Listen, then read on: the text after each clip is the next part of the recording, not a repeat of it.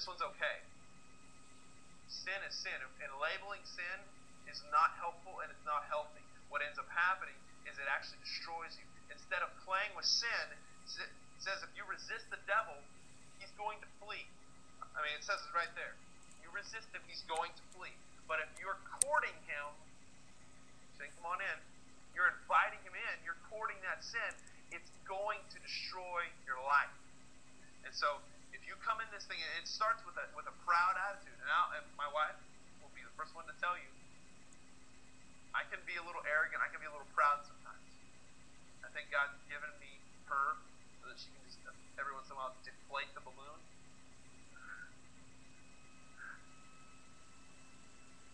And that's not a bad thing. But look at this. You, if you resist Satan, he's going to flee. Don't court and play around with sin. Run away from it. Draw near to God, and He's going to draw near to you. Draw near to the Father, and He's going to draw near. You draw near to God, which simply means simply, and it, talks about purifying your hands. It says purify your motives, purify your heart, purify what God make me new, cleanse me. And that's the thing. It's going to be a daily walk of repentance. Martin Luther said, it, it, it said, the believer, a true believer, will be marked by daily repentance by someone who is constantly repenting of their sins. Not where we're um, sin. Okay, I'm going to this revival and I got to repent then. And then I'm going to sin, sin, sin, and then I'm going to go to camp and I'm going to repent then. Every day, every moment, you repent of those sins. You cleanse. You ask for cleansing. You ask for um, God to draw in and, and, and, make you new. And according to these verses, God wants to be close to us, but our affections tend, we tend to run away. We tend to run in a different direction.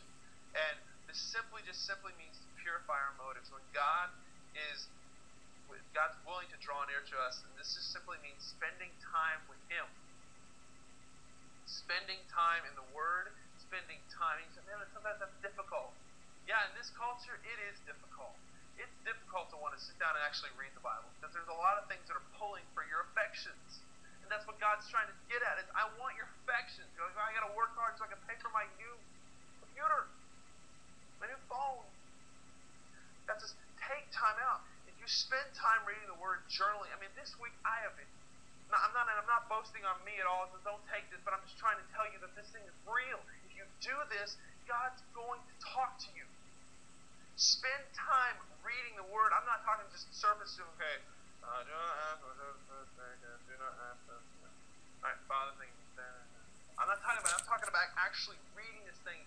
If you've got to go back and read it again with a highlighter, get some notes out, start writing, get a cross reference, start reading this thing, and God's going to show you some things. And I'm just saying, this week I've done that.